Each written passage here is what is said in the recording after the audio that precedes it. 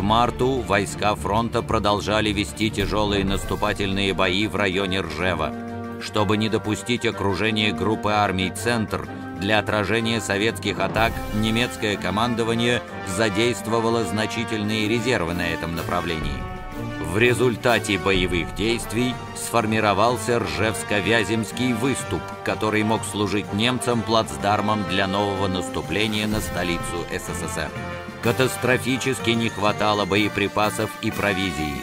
Немецкие соединения и части Красной Армии несли огромные потери, но стратегическое значение этих позиций понимали обе стороны.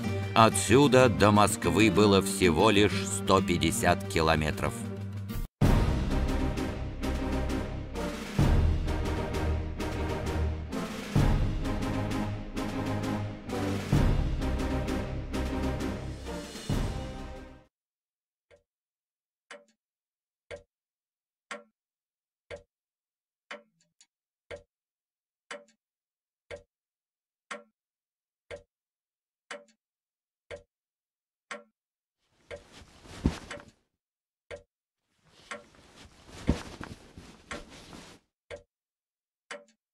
Сеть разведшкол с центром в Германии. Кто вам дал эти бумаги? Я уже все объяснял. Повторить? Я читал ваши показания. Мы их обязательно проверим. А сейчас...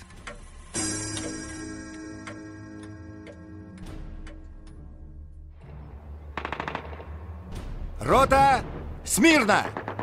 Сегодня вы сможете своей кровью искупить вину перед Родиной. Слушай мой приказ. Захватить и удерживать высоту 243 до прихода основных сил. Здесь идет война. И это значит, что любое проявление трусости карается смертью. Значит так, лейтенант. Мы заняли позиции у села Ажево. Вот здесь. Взгляните сюда. Это высота 243. Немецкие орудия, установленные на ней, держат под огнем этот участок шоссе. Вы должны занять высоту и удерживать ее, чтобы наши моторизованные части смогли войти в глубокий прорыв по шоссе. Немцы готовы к нашей атаке. Они оборудовали ряд узлов сопротивления. Первый удар штрафных рот будет направлен сюда. Вы подавите вражеские пулеметы и займете дворы. В случае успеха следующей вашей целью станут окрестности сельской церкви. Выбейте немца оттуда. Считайте село наше. В конечном итоге вы должны выйти к высоте 243 и закрепиться на ней. Когда окажетесь на месте, занимайте оборону и готовьтесь к контратаке. Противник наверняка захочет вернуть выгодную позицию. Это все. Приступайте к исполнению.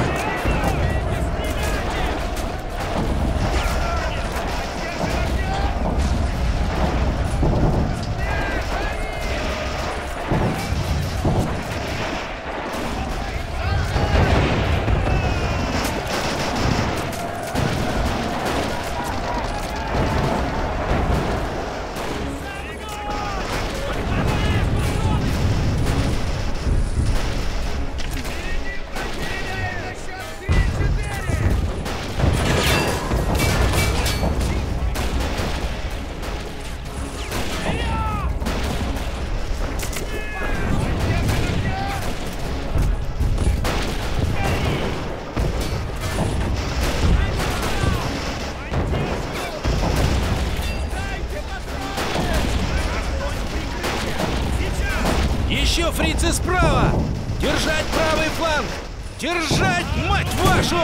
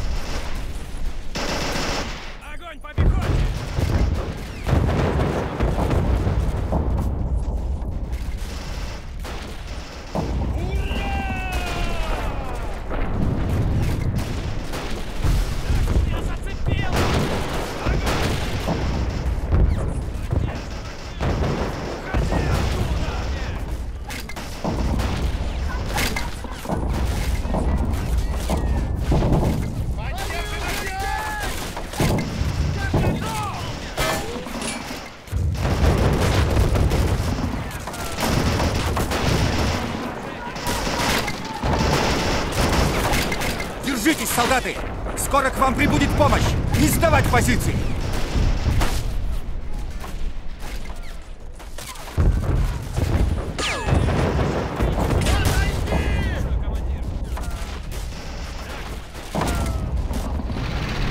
Ребята, помощь подоспела! Ох и зададим сейчас фрицам!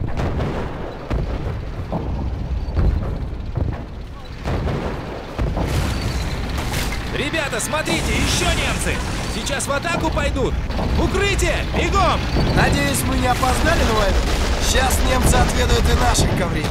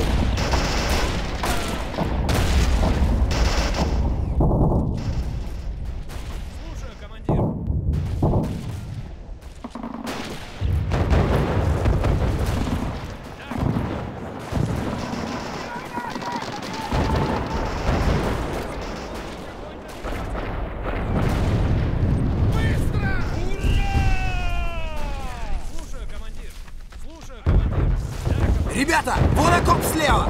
Там почти не осталось никого! А ну давай туда, за мной!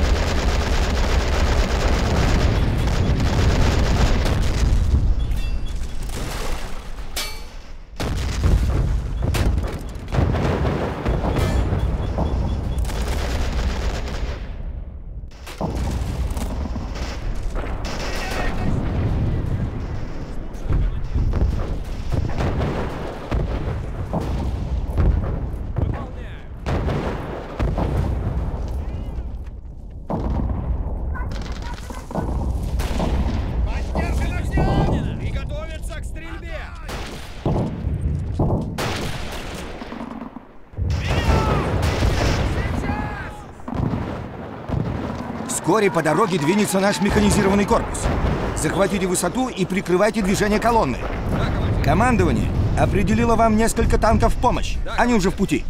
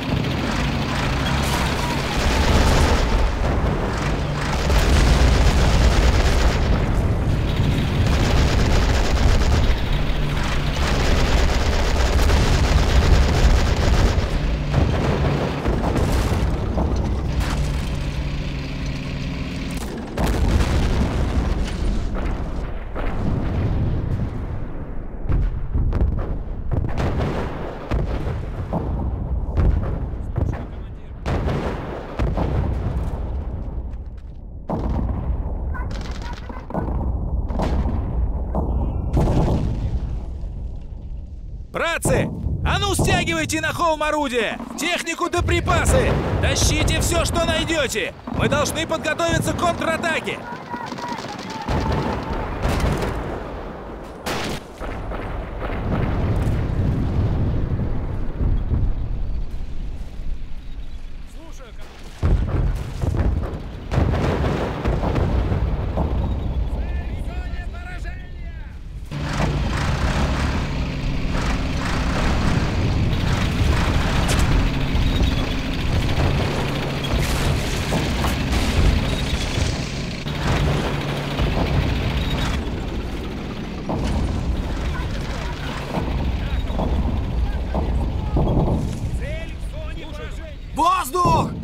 Сейчас бомбить будет!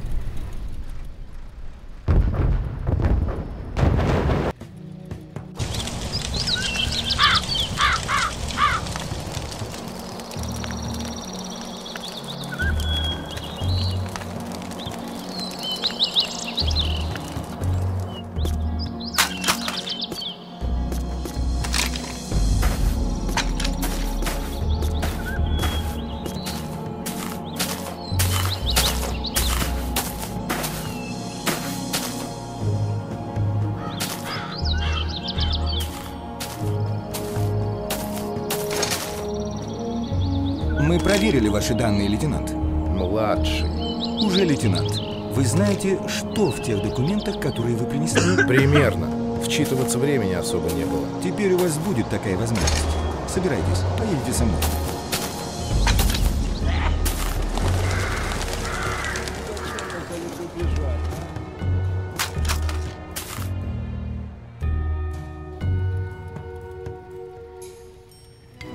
Высоту мы заняли, позиции свои не сдали. Мы, выстоявшие в этом бою штрафники, искренне радовались победе. Ведь это была одна из самых трудных побед на нашей памяти. Среди нас было много раненых, но почти все они улыбались.